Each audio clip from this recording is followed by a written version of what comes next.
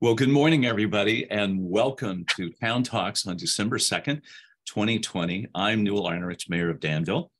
Delighted to be here with a very close friend and a special guest who all of us know not only because of her current role as Contra Costa County Supervisor, but Candace Andersen is a former mayor and council member in the town of Danville. Candace, welcome and happy Friday. Well, happy Friday to you also. And absolutely, my time on the Danville Town Council is near and dear to my heart. well, awesome. So, as usual, this, by the way, is my last um, town talks for the year as, as mayor. Uh, next Tuesday, um, we will be um, uh, selecting a new mayor and a um, vice mayor, along with swearing in two council members, um, Karen Stepper and Robert Storer, as the election season is over. And we're delighted and hope that you can join us on Tuesday. And if you can't, you can always watch it um, on television. And there's an announcement on our site about all the dates. But with that, this is the 12th video. Um, so this is a little short 90 or 82 second video, I think, just to introduce what we're going to talk about. And today is really complex, but important, even though we live here in the town of Danville, as Candace does. But how does how did how does county government intersect and overlay, even though we're incorporated versus like Alamo, Diablo, and places, and and we're going to learn about that, and we're going to learn, I think, a lot more than most of us know, and there's no better person than Candace to do that um, because of her great experience. So with that, I'm going to start off real quick here, get this going, and there we go. Well,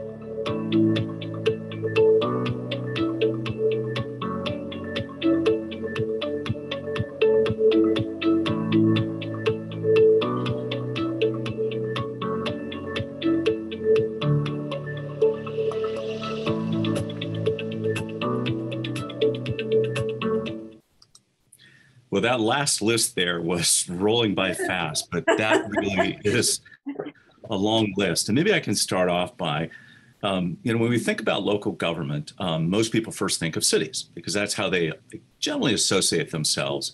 And, and as I said, even though in the town of Danville, San Ramon, we're incorporated, which means our borders are a separate legal entity. And while services are provided mainly by that incorporated areas, as the town of Danville, there's a lot of crossover services, and the county has that role, but not necessarily do all ordinances that the county passed oversect on, on each incorporated area. But the, the principal function of a city is to provide those local services. So it's parks, planning, generally policing, public works, things like that and sometimes fire. As you know, here we have a joint fire district, but it's a standalone entity. And it makes a financial sense sometimes for cities that aren't as large to be able to afford to do that. But there are 482 cities, 58 counties, and Contra Costa is one of our older counties and has had a, an incredible history. And it's a, um, a role that even I, 32 years ago, getting involved in local government, I'll be honest, I didn't understand what it does. But in one sense, the county has an enormous responsibility to provide all social services. They have to have a county hospital, they have to have a sheriff's, they run the elections, they have a county seat, they're the property tax collector. All of those functions that towns don't do. We don't have any of those functions per se. And even our elections, while we have a city clerk, elections are actually run by the county government. And I'm going to read one thing and then ask Candace, going to ask you to kind of jump in and tell us about all of the things that um, county government does. And we could spend hours talking about it, but as you saw on that list, it's going to be hard. But the principal county functions include general government, protections of persons, property, health, sanitation, roads, bridges, recreation, welfare, and corrections, and land use planning. Mhm. Wow. That sounds similar, except there's a lot of those things that we don't do. So, Candace, I'm really delighted that you're here.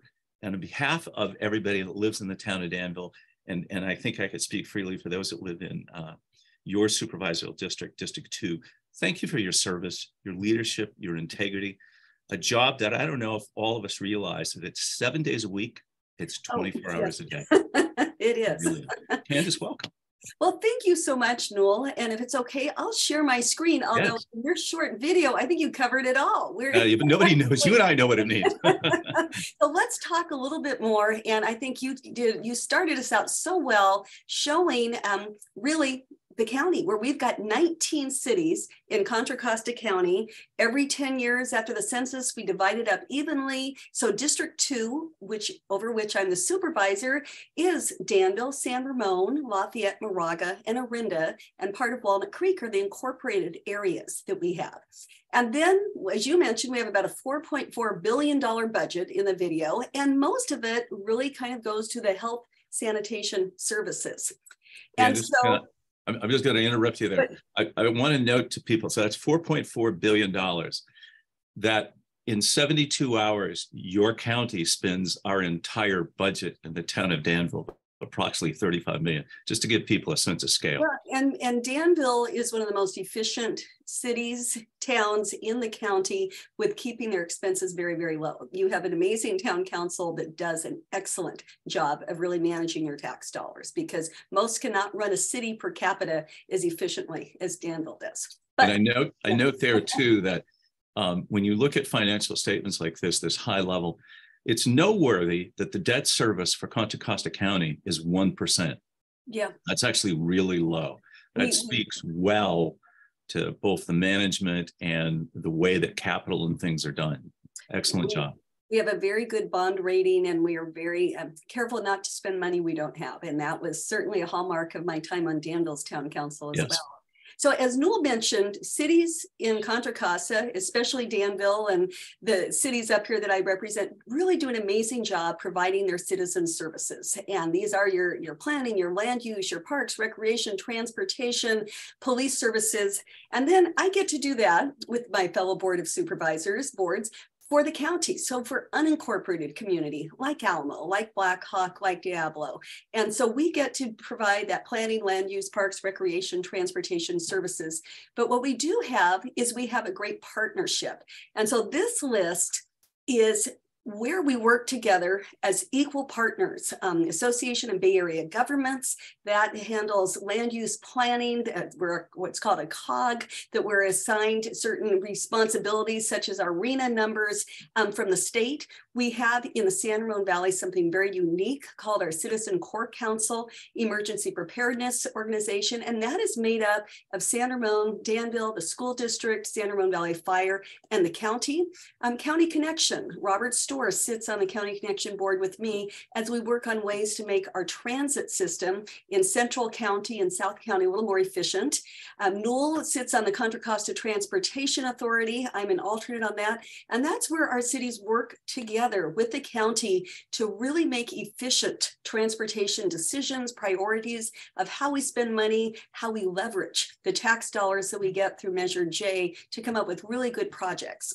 Um, East Bay Regional Communication System, um, I've got a meeting with that later today, and that's how we, in Alameda County and Contra Costa, how our first responders can communicate in a disaster or in regular police matters when they need to communicate on the same radio wavelength. The MTC, Metropolitan Transportation Commission, is a regional body that allocates transportation dollars and transit dollars.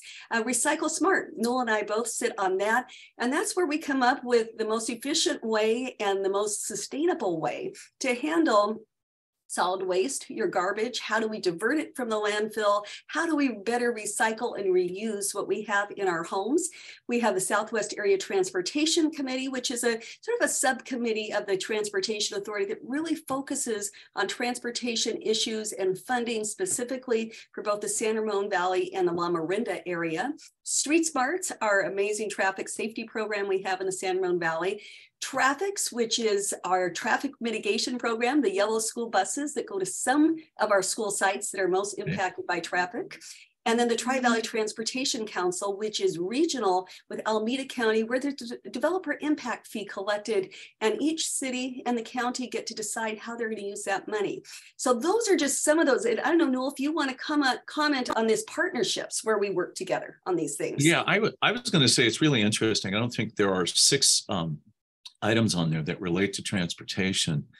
And, and just a little background, um, and, and we're, you know, in government, we, we have a tendency, and I appreciate Candace, you not using the uh, acronyms, but there's one called EBRICS, which is the East Bay Regional Communication System. But there, there was the first ERAF back in 93, 94 here in the state of California. And what that was the Educational Realignment Alignment Funding formula, formula. And really what it was, it, it was the forward effect of Prop 13 um, that was passed in 1978 and how it changed the whole tax system um, in the state of California. And there were patches and things that were put together to hold it together. And it came to a crashing confluence at that time. And what people don't realize, one of the outcomes, it was one, first of all, to help protect schools and make sure that our children still had teachers and classrooms. But what it did is it really took the state of California and Caltrans, our Department of Transportation, out of the business of building roads. Hmm. And just a couple of years before that, um, self-help agencies had saw this coming and started to develop their own. We in Contra Costa County had fortunately started a few years before that, um, creating um, Contra Costa Transportation Authority. And so the reason that you see so much of the interface now is because of that effect. And the long-term effect is, is we have to fund and pay for, even on Highway 680, the widening, all of those things are paid by us as lo- local taxpayer.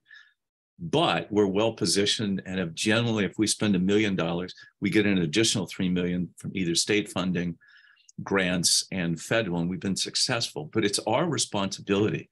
So while local government used to be simpler, every year something changes and it's the necessity that these things um, you know why are we in the traffic's business.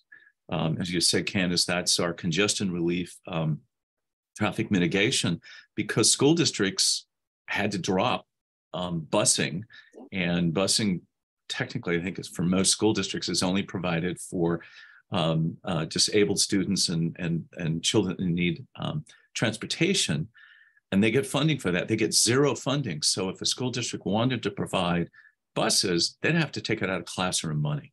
So we were fortunate, and and Candace, you were around when we did this, voted, and our our um, local voters here saw the value of trying to help do that. And when we passed what was called Measure J, that we're currently working on with CCTA, the Transportation Authority, it funded that. And Candace, you were one of the original people who sat on that to help create that. And it's really been an amazing program. But I look at this going, if you went back 30 years ago, there was only two of those items that were probably really strong. And the other ones have all been things, you know, our communication system. That was self-help. We, the county, everybody got together. So yeah, the intersection is um, extraordinary. And thank goodness, Candace, you came from a background of knowing almost every single one of those and were part of it. Yeah, fortunately, I had served on most of these as a council member, so right. it was a, it was a very smooth transition from that standpoint. But now we're going to take a deeper dive into some of the things that we had no involvement um, in as a town, as a city, and so these are some general government services. And so, as Newell mentioned, you've got sort of the public safety, you have the health, and general government. And so, you know, agriculture department, I just always assumed agriculture was managing crops, you know, tallying up the crops. Right. Well, it's important because it handles pesticide permits. So even this beautiful ranch land we have because of our hillside ordinance in Danville that's leased out to ranchers, people who use a lot of pesticides have to have specific permits to make sure that they're following appropriate um, methodologies, weights and measures. Look at the next time you fill up the pump, you'll see a seal on it from Contra Costa County. They're making sure that the fuel is what it says it is and that it's being pumped out properly. They go ahead and go to stores and make sure scales are what they, right. they are. They calibrate them. They make sure that the price that's on the side when you go to Target and you pull an item off the shelf and it says this is going to be $3.99, that when you ring it up at the cash register, that matches. And so that's our ag department does that. Assessor, as you know, that's the person who decides how much your property has gone up. Thanks to Prop 13, it doesn't go up too much each year. And we have an auditor controller who then collects, um, after the money has been collected, allocates it back to the town for their share of the property taxes. As Newell mentioned previously, our clerk recorder just ran an amazing election. We have a new um, new elections clerk recorder over elections, um, yeah. Kristin Connelly, and we will also, though, um, Clerk Recorder also does your vital documents. So that's your birth certificates, your marriage licenses and certificates, your death certificates are all out of the Clerk Recorder's office and your recordation of deeds and other documents going with the land. And so they have a very important role. And we're going to talk a little bit more about libraries. We have a countywide library system, and then the treasure tax cluster collector, Rusty, Rusty Watts. And you can see we've got a tax bill there. Make sure you get them paid by December 10th so you don't right. have a penalty. No and penalties. Then, yep. No penalties. And then we've got what we call the safety net services. And this was one where when I sat on the town council, I did not fully understand the breadth of our safety net services. I just sort of assumed the state did that or the federal government did that. They do, but it's through the county. And so we have aging and adult services, which includes adult protective services, our council on aging. We're doing an aging plan right now, CalFresh, which is food stamps. And I will note with CalFresh, you know, we sort of assume, hey, we live in Danville, everyone's doing okay.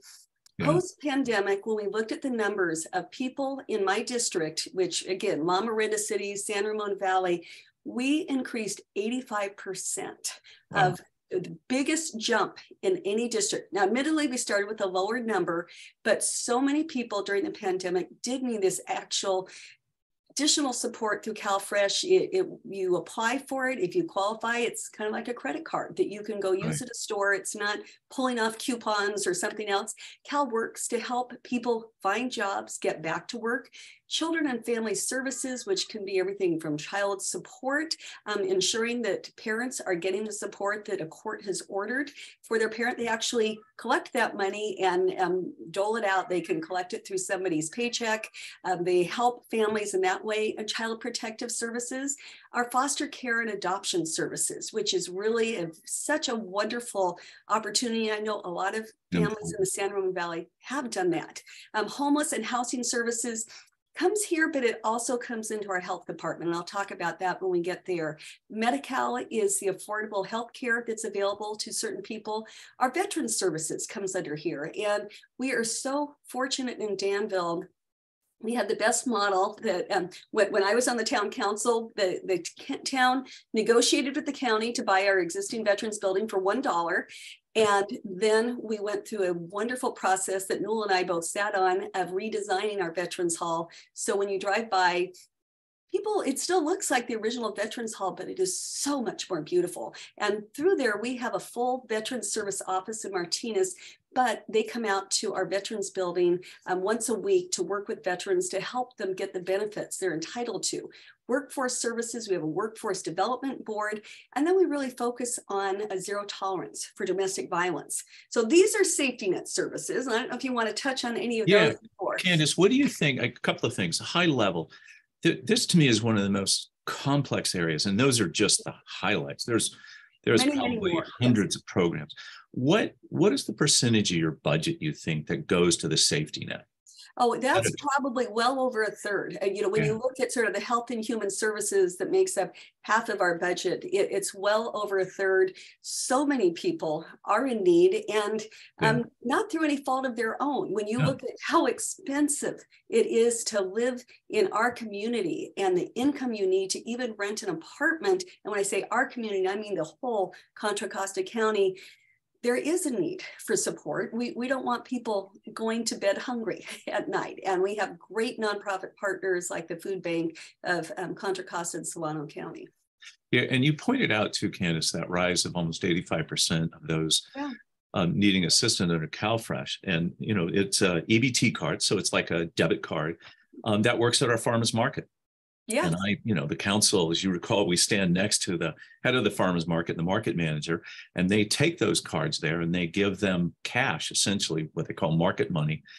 And um, it is surprising to see, but it's also wonderful that there is that safety net. And they're not people who are, are somebody that um, has necessarily done anything wrong. It's the circumstances during COVID, and we saw this during the Great Recession. People got laid off and after they've exhausted their own personal resources trying to hold things together, um, these are those services that help. And you know, we've we've all had sadly friends to. Oh, I, I had six friends that were here in Danville that passed away due to COVID, and and a couple of them were younger and they had family. Mm-hmm. And so some of these services come out. You can have a single parent who had children and all of a sudden they're going to go if they're under 18 they're going to go in the foster care system until a family member or somebody else can help out. And the homelessness and the housing services affordable housing um, just extraordinary things that touches all of us but yet we're incorporated. So these are those overlap services. And you know i, I, I say we should be proud that contra costa you know you help ring the bell to say, hey, we have issues here in this part of the county in Lamorinda, La Miranda, even though you know that the cost of housing and things make it look like, yeah, live here takes a, a, a high income, but not everybody is as successful and have those unseen circumstances. And finally, veteran services. Um, while we bought it for a dollar, we did write a check, by the way, Candace, for two hundred and fifty thousand dollars, I think, we end up to doing, contribute. We, we, but, we, yeah, but well, we spent, I think, at the time, eight and a half million dollars, if I'm not mistaken, right. to restore the building as beautifully as we did. And and Newell and I were both very, very focused on ensuring that we kept the historic um, portion yes. of the building and the beautiful windows and other things. But yes, and made but, sure we had the veterans offices. So they have offices on the upstairs and if I'm in there once or twice a week and you'll hear them up there with folks. Yeah. And you know, it's really exciting now. We're seeing, you know, like my son who's in his 30s who served, you're seeing some of the younger folks now come in for services and things like that. Absolutely. Really amazing. Important. Yes. So no, this is so it's a really exciting part um, of the services that the county provides. Um, something too I will note is what we find is many of our seniors who are in fixed incomes in high inflationary times often get priced out of their housing as well. And so it's a it's a challenge. So then we have Contra Costa Health Services. And wow. this is a huge area that makes up also a large chunk of our budget. And one of the primary things that I focused on really is our behavioral and mental health services. And behavioral also includes alcohol and other drugs, where oftentimes those go hand in hand, where someone may have a mental illness and they try to self medicate through substances. We have 10 county um, Contra Costa health clinics we have a Contra Costa health plan, CCHP, that's much like um, a, a health net or some other health plan that utilizes not only our county clinics and county hospital, but also other providers throughout the entire county. We uh, oversee emergency medical services. And so that's where we hmm. ensure that each of our fire districts, and that includes San Ramon Valley Fire, Moraga Orinda Fire, Contra Costa Fire Protection District, is a separate fire district, but the Board of Supervisors happens to be the board for it. So there's a little bit of an overlap. Yeah. We're held to these same EMS standards as well to make sure that we have a, a common standard of care, how quickly there will be a response time to an emergency, response time to the hospital, the level of care that will be provided. And there are some taxes that have been passed to enhance that. Um, environmental health. Now, this is the one that um, puts the green, yellow, or red markers on your restaurants. when you Right, go into them. important. It's an important one.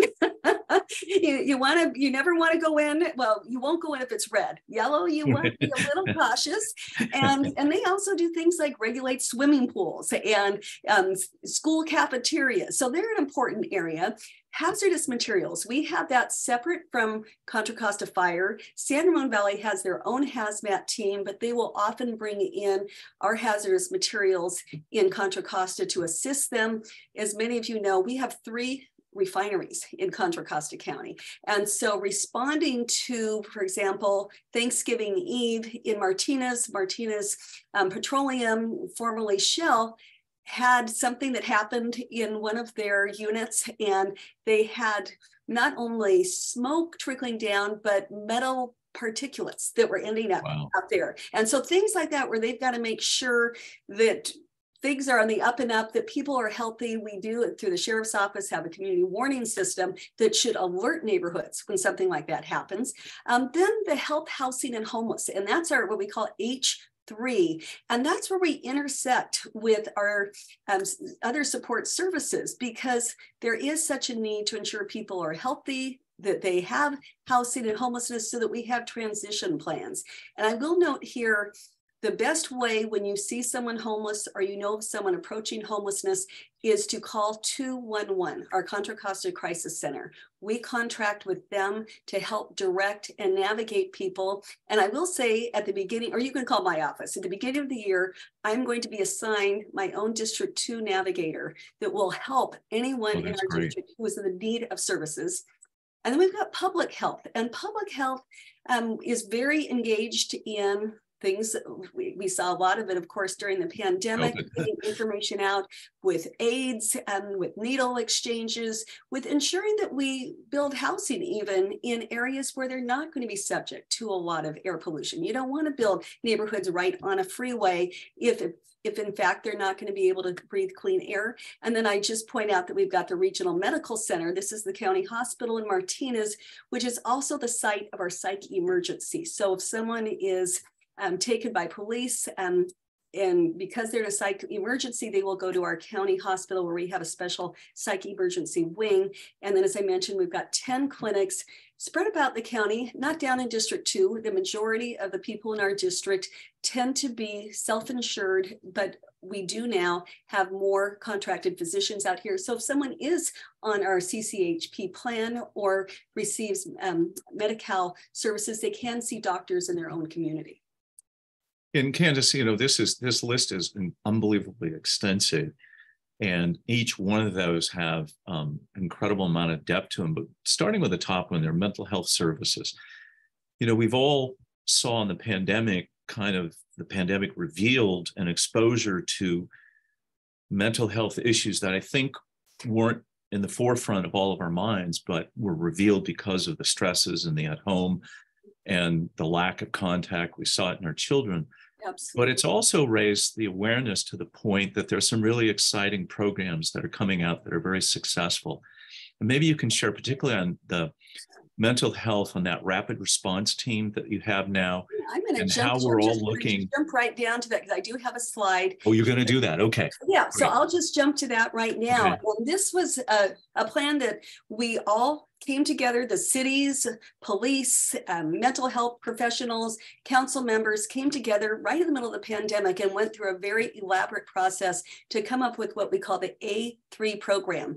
And it's an alternative to police responding to individuals experiencing a mental health crisis. And so it's called Anyone, Anywhere, Anytime. It really, and we have the Miles Hall Community Crisis Hub. So someone can call 911, they could call 211, a family member could call. That call will be directed to the Miles Hall Community Crisis Hub.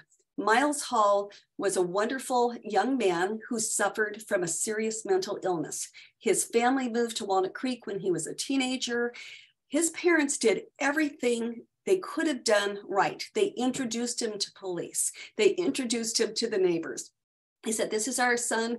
He has a mental health issue. We want to avoid there ever being um, a, a, horrible situation. Unfortunately, one evening, um, Miles Hall was in a in a serious episode. He had a, a metal pole. He was threatening family members. They called 911.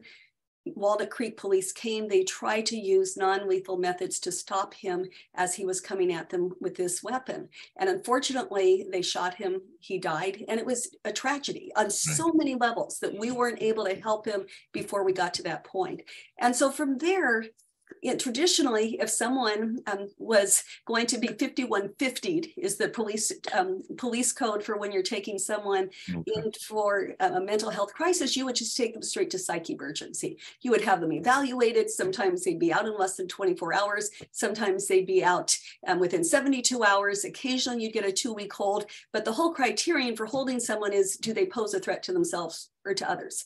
And oftentimes someone with a serious mental illness can present very, very well, kind of talk them, talk their way out of it. And so this then says, well, let's have someone different respond. Does it always have to be a police officer? Right. Very often you'll still need them in the background because if there's violence, you don't want to um, have any clinician, social worker, mental health professional put in danger, but the dispatchers who are trained can decide what level of team should we be sending? And would it be level one, level two, level three? Maybe firefighters, paramedics, maybe police would be the, the first that would be sent out to the 911. And then it's coming up with alternative places to go. You don't always have to go to a hospital. You don't have to go to psych emergency. Could you go to a crisis center? Could you go to a sobering center, a peer respite where you would have other people who have experienced mental health challenges who can sort of talk you through it? What are the other destinations? And so we've launched it last year. It's expanding, it's growing. We're very, very excited about this. Yeah. And it truly was a collaborative effort. And I will say, thanks to the voters who passed Measure X, the half cent sales tax in 2020, we were able to fund it with $20 million ongoing, an additional um, allocation, about 15 million to get it set up. That's great. And you know, parallel to that, in in um, you know, really the emphasis for that and even local events, that San Ramon Valley Fire here um, stepped up, uh, Chief Paige Meyer and his team, to figure out, yes, can we do that, that different type of response? And so they they have been going through the process of a pilot program, retraining the dispatchers, retraining all of their first responders, and also working with uh, the city of San, uh, San Ramon, their police department, to retrain police officers we're doing the same thing that the county is obviously our police officers or your sheriff's officers. But to do that and all of these programs to get to that confluence of how to respond appropriately in the nature of the call. And I think it's it's just wonderful results that we're starting to see. People say, well, why didn't we just do it right away? Well, it, you know, it does take training. And, and what's important is to know how to develop de escalation skills. Well, we can talk about it. Learning those, understanding them, having enough experience of how to go through that takes time. And so, you know, I think fortunate that we haven't had any other incidents and that this in the long run is, is going to save lives and have better outcomes. It will. And it also goes to sort of the, the next thing that has been a big focus of mine is how do we help the mentally ill who cycle over and over right. and over again through our jails. And so there's a national movement through our National Association of Counties called the Stepping Up Initiative, something that I got our county involved in many years ago when, um, when I was about four years into my term as a county supervisor. And so what we have done is we have expanded several programs. We have something called Laura's Law, which is an assisted outpatient right. treatment for someone who has a diagnosed serious mental illness, has been hospitalized or incarcerated because of their mental illness more than twice in the last two years, who needs treatment but is refusing treatment. And so through this AOT program that the governor just signed right. into to have all counties participate. Before it was optional, we were ahead of the game. We are then able to provide some very, very extensive outpatient treatment. And then if someone still declines, we can bring them before a judge who can order their treatment. We've also expanded our mental health treatment in our jails. We're spending um, over $40 million a year inside our jail on expanded mental health treatment. We've reconfigured our Martinez detention facility, and we are building a new wing out in our West County detention facility in Richmond that will have even more supportive services for those who are mentally ill. Now, it's great to treat someone while they're in jail, and that's not my preference. My preference is treat treat them before they get into jail. But then it's what do you do when they leave? And that's where you've got to have the appropriate supportive housing and the supportive services to ensure that they are going to continue with whatever treatment plan it is, where we don't just have them cycling through yeah, Candace, this is this is incredibly important, and again, I think all of us are so proud that Contra Costa and your efforts to be able to get these things started, and it's it's incredibly expensive. As, as, as we're talking about, you're you're spending your burn rate of cash per day is about fifteen million dollars, um, but it takes a lot to um, get um, these programs. And what we don't want to see, and we've seen it in the past, that these come and go, like they last for six months because they're six months funding. You and, and your colleagues have found sustaining ways. Measure X is helping that. Mm-hmm. And we're seeing um, the fruits of that effort um, to make sure that these programs stay here because it takes time. Um, it really does. As much as you know, those of us that say, gee, I'm okay. And if I fall or something and I get hurt, you know, I go to the hospital, I get fixed, I go to physical therapy. Well, that has a beginning and end that's a much shorter period of time. And through mental health, there's underlying issues, there's environmental issues.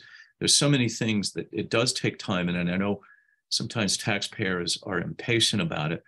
But what's impressive here at the county level is that you're trying these new ideas that show real success. And there's legacy programs that that have starting to vanish because they've been around forever and they're not changing anything. And so it's hard to do that because it means you're changing jobs, you're changing relationships, but um, well done to be able to change and pivot to find new solutions. Well, thank you. And, and now I'm going to go back and talk a little bit about our, our justice partners um, where we have law and justice. That's one of those things also that the county gets to provide. And so under our law and justice sheet of paper here, you've got animal services. You have what's called conflict defense. That's when the public defender has a conflict because there might be two defendants charged with the same crime and they both um, have different bases for their defense. So we have a conflict defense panel, the district attorney we have probation that not only, I think a lot of us recognize that probation is sort of like parole, where you have someone who's let out of jail and they've got to check in with a probation officer. What a lot of people don't know is that our juvenile adjudication, and I'm sorry, I see the seal covered that, um, that also comes under probation. That doesn't come so much under the district attorney's office, although they they are partners with that. Right public defender and then the sheriff who both not only does law and justice issues but he does the the coroner figures out the cause of death in our county jails and I was going to jump down to talk a little bit about animal services. That's a that's a big deal for a lot of us. That's one of the few services. And we contract with you for that service. You do. We, you, we yeah. don't have it. It's really important, and we really appreciate it. Yeah, and it is. It's it. We just raised the rate, which was a little controversial, yep. to now six dollars and seventy nine per capita. That's what Danville and all of our other cities are paying, and it is one of the field services antioch it costs them closer to $15 per capita. So it's kind of nice that it's not just um, the county gouging the cities which we really don't do. Um, but these are some of the things. So main priorities you try to return owners, their domesticated animals, ship your animal if you can. So that will make it so much easier. We do investigate a lot of complaints of animal bites, maybe rabies exposure, um, attacks to humans or domestic animals. And unfortunately, all of us think our pet is exceptional. And right. uh, I, you know, before my my 14 year old Dalmatian, the, the year he died, um, and it wasn't because of this, I was walking him right outside my house in a little pocket park, and I saw a very well dressed gentleman um, who had pulled up to the little pocket park with his pit bull who was off leash. And I walked my dog on a leash across the street to Diablo Vista Park, walked him around. And as I came back, um, the pit bull was still off leash. And I called out to the man. I said, Would you please put your dog on leash? My dog is old, a little skittish. And he said, Oh, no, he's fine. And as soon as he said that, the pit bull ran across the street, yeah. Oh. jumped on my dog, you know, stuck his his jaws right into the hind legs of my Dalmatian. And it was just, and the man came running over, could not control his dog, finally did. And he just said, I'm so sorry. He always listens to me. Yeah, right. They're, they're animals. Okay. Keep your dog on a leash. Thank you for the reminder, Candace. Yeah. You know, people think because we have a dog park where you can take your dog off the leash, you can't do it just because you live in Danville and places and it feels safe. It's really just for that circumstance. Yeah. And it's always that story, by the way, that somebody says, Well, I thought they would do that. The leash law there is to protect you protect us and our neighbors. So thank Absolutely. you. Absolutely. No, no, I'll throw that. Yeah. And so then you do have, you know, laws that do govern potentially dangerous and dangerous animals. If you have a dog that's biting other dogs, you will be required to have a fully enclosed area for your dog. You'll have to have a muzzle on your dog. There are lots of rules that they do enforce for that. Um, we respond during regular business hours to police or fire department calls for assistance regarding animal related issues. We don't do wild animals. That is really the state of California's fish and game. And so if you see an injured coyote or an injured deer, sadly, Animal Services is not going to be the one to respond, but State Fish and Game will. And then we do um, investigate animals, and we do adopt out animals. And so we are having we're having a special. Right. Free adoptions through December 11th. I threw wow. that in here, but it's and it's the, the one funny thing that I had to push for years ago, a couple of years ago, when costs got high and we didn't have the staffing, they stopped picking up large dead animals on someone's private property. So if you back up to open space and you ended up with a dead deer in your backyard and you called up animal services and said, I've got a dead deer in my backyard, they would tell you two things hire someone to do it or drag it to the curb and then we'll pick it up. And mm-hmm. we have since, um, where every city's paying a little bit more, we will remove dead deer from your backyard. Thank you. Thank you. And, and, to think about it, for that cost, as much as nobody likes to see costs go up, it's because the cost went up. And the nexus to that was also about changing some services Improving. provide a little higher level of services. And for the town of Danville, it's about a $300,000 cost. And if you think about it, that would barely be a person plus some equipment and that there's no way we could do that. So um, it's a very cost effective solution for most of us. And I think there's only what, one, maybe two cities that don't use only, that. Yeah, only Antioch is the only city in the county that does their own. We've we've invited them to join us. There's been a grand jury report last year that suggested they consolidate, but they they like doing it their own way. And that's yeah. we respect that. Thank well, you for this. Well, and then you've got our criminal justice. And so we've got Sheriff David Livingston, who is one of our Danville residents, um, does a fabulous job. We have our district attorney, Diana Becton, and I'm really impressed by our chief probation officer, Esa Ehmen-Krause. As I mentioned, she is the one who focuses on juvenile issues. And something that she is really working on is we have two juvenile facilities, or we did. We had the Orin Allen Youth Facility, also known as the Byron Boys Ranch, out in Byron. And then what you're seeing an aerial photo of, photo of below is our juvenile facility in Martinez. And so she said the Orin Allen Ranch, it's costing us $6 million a year to run. It's we only have about 12 youth in there right now. It's only for boys. She said we could provide the same programs that we're providing out there to these low level youth offenders, but in their own homes, in their own communities. And so we're closing the Byron Boys Ranch and we're opening up what she's calling the Briones Academy that has three tiers. And so the first tier is for the lower level offenders that really can be back in their communities. They can receive counseling with their families, strengthen their families, back in school in their own community, receiving intensive services they might have received out at the ranch, but in their own homes. Now, something that we look at as we reimagine youth justice is why is it that in the San Ramon Valley and Lamorinda, very seldom do our youth end up in juvenile hall? It's not because we just have good kids. I can tell you that as a mother of four sons, there, there were moments where I said, What were you thinking? Um, but the reality is that we have a close relationship with our police who very often will either have our youth enter a diversion program right. or they will come up with an alternative way to track those youth so they don't end up in juvenile hall.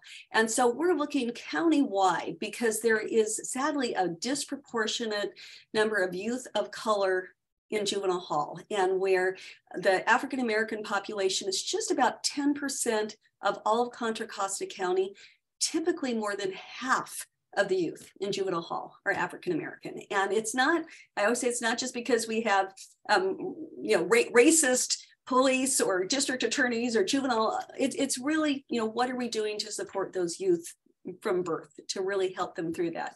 The second tier in juvenile hall is going to be one where they will continue to get more privileges, more of a, a college type campus, bringing in um, the trades to help them learn, meaning the trade unions, to help them learn skills as apprentices.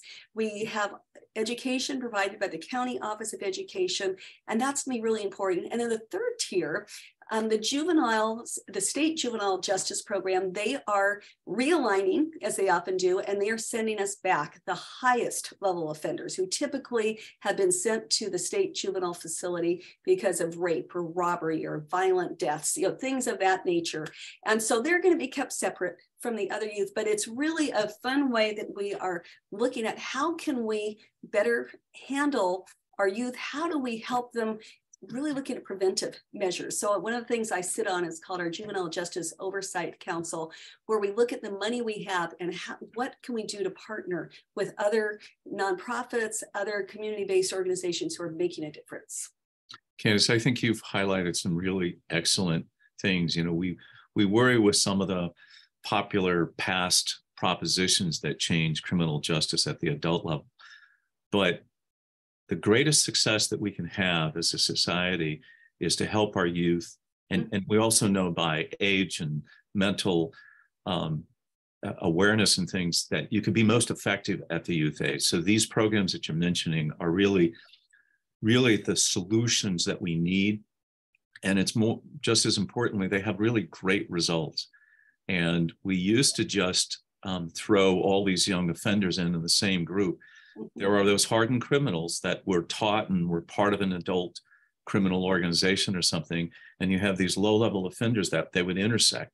Those were not good decisions. So, I, I, you know, I really applaud what you're doing and the leadership at the county level, and and the results are really getting positive. And the diversion programs, like you said here in the San Ramon Valley, you know, if to a to a parent here in Danville, if your child does something like that and the police department will sit down with you, make sure everybody understands. And the option for diversion is that both the parents and the child will participate. If the parent doesn't want to, that child is going to go to a different solution. And so I think it's that combination of getting the family unit back together um, through diversion. And in the absence of a family and other circumstances, that there are those people in these outside advocates that can help be that person to advocate for that child and help guide them through. But um, well done on getting different results using different standards and great solutions. Well, we've got, like I said, fabulous chief probation officer.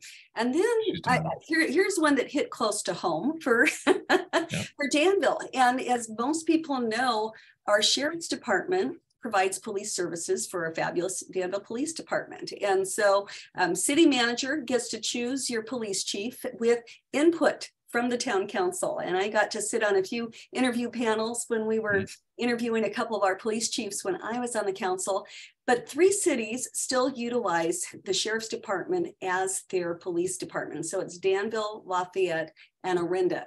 And so this year we went through sort of a, a re readjustment where we really had to look at liability costs just like all of you carry insurance many of you have an umbrella policy for un, unfortunate incidents that happen, maybe not in your home or um, not in your automobile, we do have liability costs associated with each of our deputies that work in Danville, work in San Ramon, um, and excuse me, not San Ramon, Lafayette and Orinda. San Ramon used to be a contract city years ago, but they formed their own district, um, their own fire, excuse me, police department later. So this is something where we were looking at a huge huge jump where last year Danville was paying um, for our current fiscal year 77,000 in liability cost per deputy and then or in total not per deputy and then that would be really expensive. But yeah. in total based on 30 full-time um, deputies and then it was going to jump to 273,000, you know, a,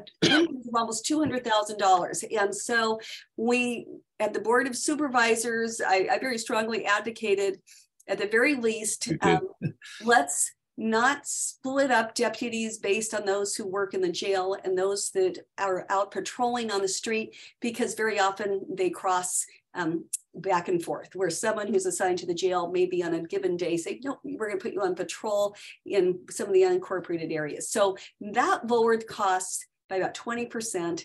And then I also really advocated for phasing it in over a three-year period, which isn't great, but it's it at least gives our very small budgets, as you know, as Newell mentioned, Danville has what are you about 30 36 million right now? yeah right. Yeah 36 million dollars but this is a big hit. And Lafayette and Orinda have even smaller budgets. So that's one of those challenges. On the other hand I'm a big fan of the contract method and I'll, I'll let Newell talk about what he sees as the benefit of contracting with the sheriff's department.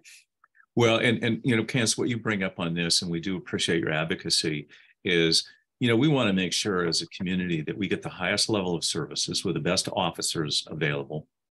And in turn, we want to make sure we pay our fair share of the cost. And, you know, there's reallocations that are done every so many years. We've done ourselves, our own studies. And, um, you know, I think this came out fair. Um, and what it really says is that it doesn't make any difference where the, the liability, if there is a sheriff's department and whether they work for us or they work for the county, it's a, it's a shared responsibility. But the, the value proposition that we get out of this is that, as you said, that that the officers they wear they drive Danville cars, they have Danville uniforms, and they act accordingly in this community to the standards that we feel are appropriate in how to uphold the law and how to really focus on behavioral change. So, you know, we always tell people if you're going to get a ticket here, you have to 50 50 chance. When they stop you and they say, um, Do you know why I'm stopping you? And you say, You're just bothering me. I'm, I'm busy. Why don't you go get the real criminals? And they'll, they'll ask you then driver's license and your insurance. And, and the idea of getting a ticket um, for a moving violation is to change your behavior. And in Danville, we've plotted over the past 25 years that when you look at when we increase the number of citations, accidents go down.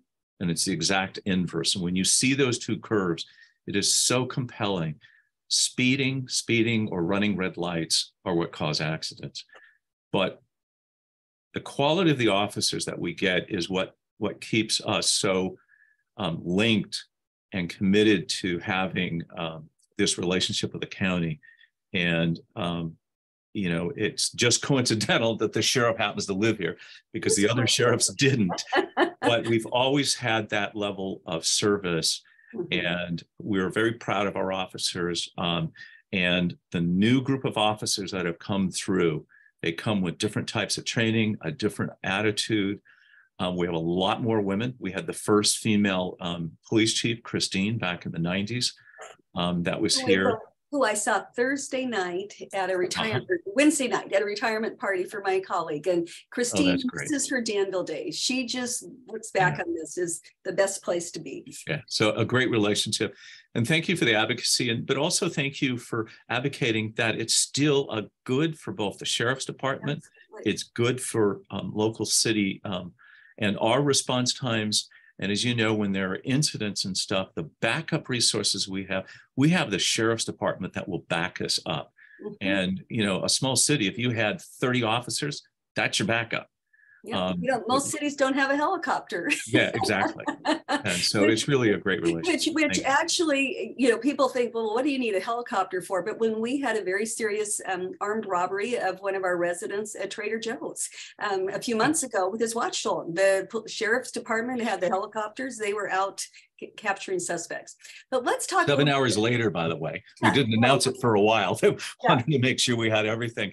But yeah, seven hours later, um, had that person in custody. They did. And well, and so Superior Courts, even so, even though they say Superior Court of Contra Costa, we don't really get to control the courts. We do have our sheriff deputies in as the bailiffs in the court and as security in the courts because they are escorting our, our inmates back and forth. The state oversees them. And probably the biggest question we get is about jury information. And it can be really frustrating and confusing when you try to get a hold of them. If you're having trouble trying to contact the jury information person at this number, give my office a call. We, we do have a contact there that we do reach out to. We, th- this week alone, we had a very sad story of an elderly man whose wife was in the hospital. He was called to jury duty. He couldn't get through to anyone. And, in you know, instances like that, we're, we are here to help. we want to help you with, with things like that. So that's That's definitely something that we would like to do. And then I, I'd love to talk a little bit about our library. We have a beautiful library. Mm-hmm. And uh, Newell, tell us about the library in Danville, how it came to be. And you were an integral part of that. Well, I happened to be on, I wasn't technically on the council while we were planning it. I was on the council once it was completed. But it was a, um, if you remember our old library, it's, it's uh, uh, about a block away from here. It's uh, um, right next to the Crossroads Shopping Center. It's now a mortuary. We sold it because we had the opportunity, um, and it was actually kind of came up as an opportunity that we didn't know about. The school district had the old Charlotte Wood School on where the um, our current library and community center is. They also own the property behind there where there was a housing project, and they were moving the school and been planned for many years. And they kind of, got stuck. So the town was able to step in, help facilitate some land use changes, and in turn, an opportunity for Danville to acquire in our right in the heart of our downtown a an opportunity for a town green, a community center, and a library. And most people don't know this that most of the libraries in the past 30, 40 years are actually built by the local jurisdiction.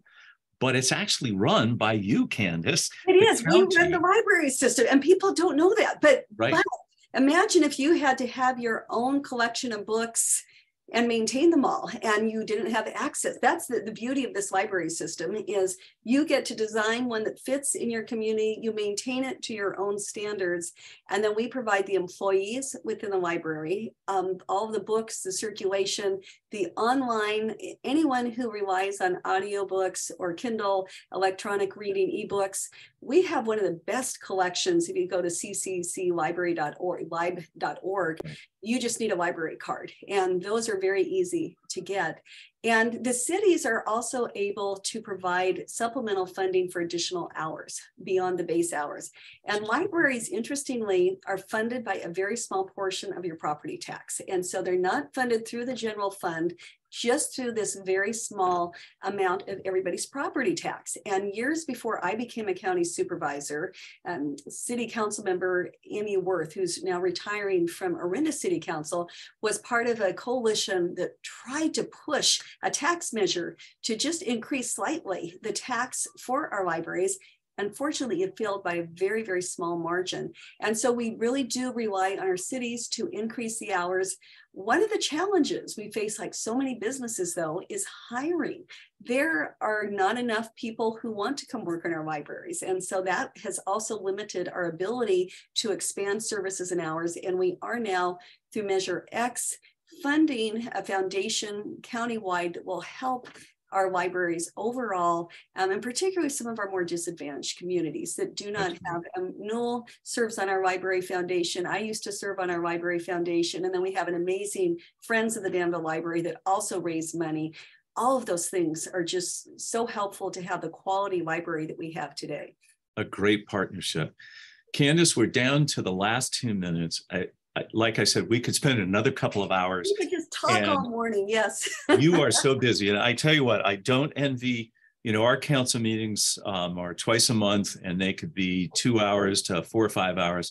You have them almost every Tuesday, and they could be eight or nine hours long. We, we went from nine a.m. to four thirty on, wow, on Tuesday. A long time. Controversial so, land use project.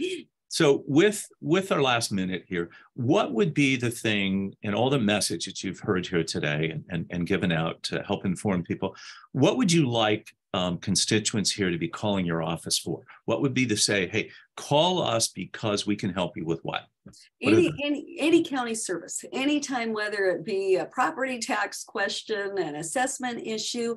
Um, the ones I like best are when you find someone in need. And fortunately, a lot of people reach out to us when they um, know of. I just last month I had several people who said, "I have a friend who's going through a divorce. Her husband has locked down the bank accounts. The mm. children are with the mom. They don't know where they're going to live. They don't know where they're going to, how they're going to feed."